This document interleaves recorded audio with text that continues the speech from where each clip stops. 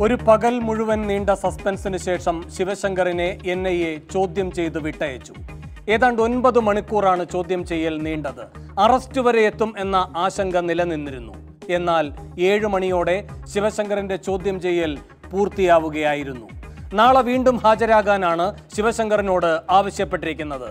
അതായത് സസ്പെൻസ് നാളെയും തുടരും. മൊഴികളിലെ വൈരുദ്ധ്യമാണ് ശിവശങ്കറിനെ വീണ്ടും ചോദ്യം ചെയ്യാൻ എൻ ഐ എയെ പ്രേരിപ്പിച്ചത്. പ്രതികളും ശിവശങ്കറും ദുരൂഹ സാഹചര്യത്തിൽ കണ്ടുമുട്ടിയതിന്റെ ഡിജിറ്റൽ ദൃശ്യങ്ങളിലും എൻ ഐ എക്ക് വ്യക്തത വരുത്തേണ്ടതുണ്ട്. അന്വേഷണ ഏജൻസികളുമായി ശിവശങ്കർ സദാ സഹകരിക്കുന്ന കാഴ്ചയാണ് ഇതുവരെ കണ്ടത്. ഇന്നും അതിന് മാറ്റമുണ്ടായില്ല. പുലർച്ചെ നാലരയോടെ ശിവശങ്കർ തിരുവനന്തപുരത്ത് നിന്ന് പുറപ്പെട്ടു. ഒൻപതരയോടെ എൻ ഐ എ ഓഫീസിൽ എത്തി.